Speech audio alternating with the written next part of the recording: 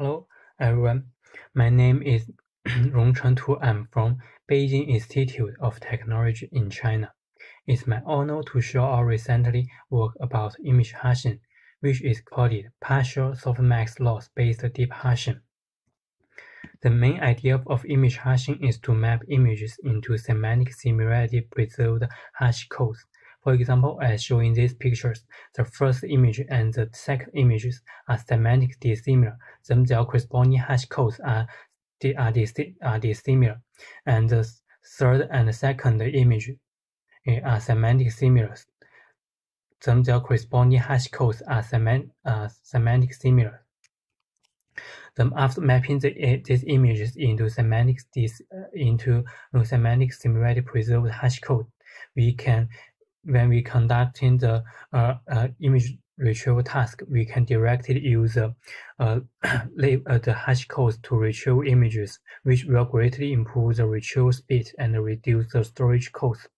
Due to these advantages, image hashing has been widely studied. In, in recently, lots of unsupervised hashing methods have been proposed. Most of them can be roughly divided into two categories: data pair similarity preserved hash codes, preserved hash methods, and label or code-based hash methods. Data pair similarity-based hash methods need to define a similarity between data point to train hash models, which will have two issues. The first one is that the coverage of data distribution is insufficient because these methods usually need to construct similarity matrices or attribute to train the hashing model, and it's impractical to exhaustively learn from all possible or data pairs attributes. Then they only utilize partial relationships to between data points to train the models. Thus, it will uh, harm the discriminative of the learned uh, hash codes. And the second problem is that the low effect effectiveness on, on imbalanced data. In real-world datasets, the number of dissimilar data pairs is much larger than the ones of similar data pairs. Hence, such, such hash methods cannot generate good hash codes uh, with the label information preserved uh, sufficiently. Uh, without and uh, without defining the data pair similarity, the label oh, based label code based uh, hashing methods usually use the label information to generate the uh, label hash code and then use the label hash code to uh, guide the, learn, uh, the learning process of image hash network. However, when generating the label hash code, uh, they usually need to uh, define the, the pairwise similarity between the multi-labels, which means which means these methods still have the same problems with the data pair similarity preserved hash code, uh, data pair or similarity based hash methods. Thus, these existing existing hash methods cannot generate discriminate hash code with semantic information preserved sufficiently. Then in our paper, uh, we propose a novel deep hashing method uh, called it partial softmax loss-based deep hashing which can generate discriminative hash code with semantic information preserved sufficiently. This is the architecture of our proposed method, which contains two steps. The first step is training a category hashing network, which is used to generate a hash, uh, generate a discriminative compact hash code for each category. Then after training the uh, category hash network, the learned the learned category hash code contains sufficiently semantic information of its corresponding categories. And um, we, we, in the second steps, we can directly use a uh, learned uh, category hash code to surprise the image in hash network learning. It can be found that when the hash code bi of an image xi can preserve the uh, semantic sem semantic information sufficiently, then the the hash code BI will be similar to the category hash code whose corresponding in categories X, I belonging to. And uh, BI will uh, be dissimilar to the, the category hash code whose corresponding hash code xi doesn't belong to, uh, uh, which can be formulated as this inequality. Uh, BI denotes the length hash code of image xi, and Z denotes the length hash code, the length category hash codes and the gamma i denotes the uh, set of categories that image xi belonging to, and the per i denotes the set of categories that image xi didn't belong to.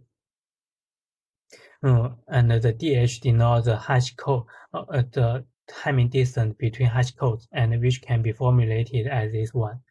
And thus, we can further reformulate the this inequality into this one.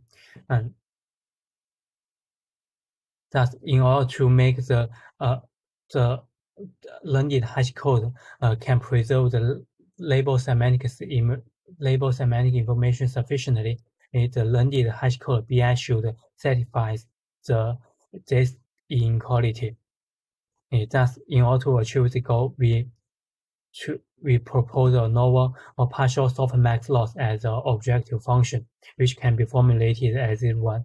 It can and be proved that by minimizing this uh, uh, objective function, the learned hash code BI can satisfy this inequality. Thus, we utilize this uh, objective function to optimize our, hashing model. Uh, and after training, we uh, and in the end, we conduct extensive experiments on the three real or real world public data sets. Uh, and we also use the, these hash methods as our uh, baselines. And the evaluation metrics, we use these five evaluation use this use these five metrics. And this is a result about the MAP results. MAP metrics. Uh, it uh, the higher value of MAP metrics means the better uh, retrieval performance. It can be found that our proposed methods can achieve the best uh, MAP results. It means that our proposed methods can achieve the best retrieval performance than the, these baselines.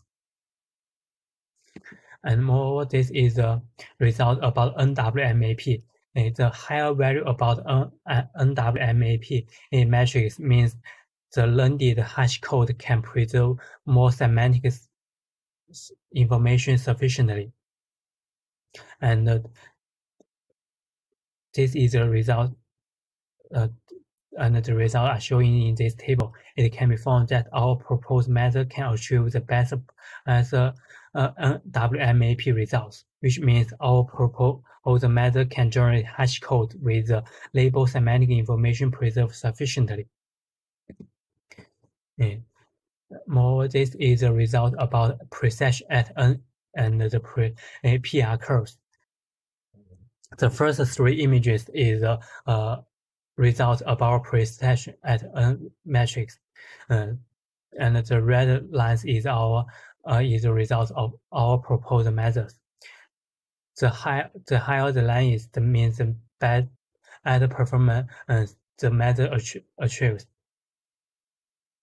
It can be found that uh, our proposed method uh, can achieve the best performance on the precision at a matrix, and also this uh and and these three images show the results about PR curves.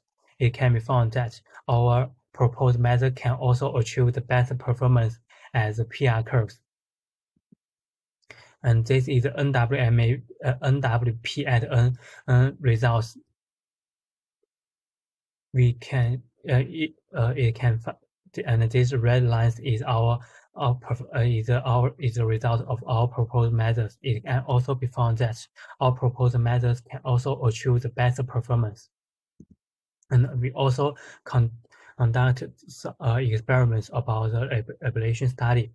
We use a, we propose a, a variant of, of our methods, which is called it PSLDHP, which uses uh, traditional pairwise loss as an objective function to conduct to construct this uh, objective function, we need first to define the pairwise similarity between the category hash code and the image uh, data point.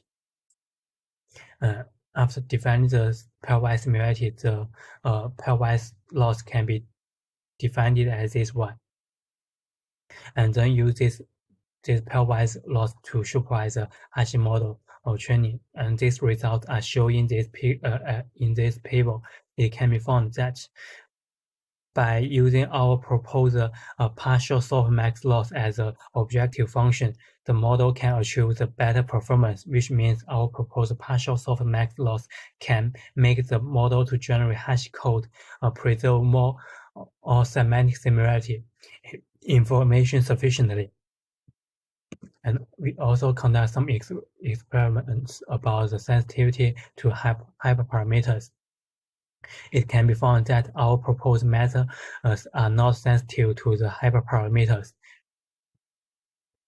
Uh, that for each parameters, our our method can achieve a, a good a good performance at a, at a large range. And okay, that's all. Thank you.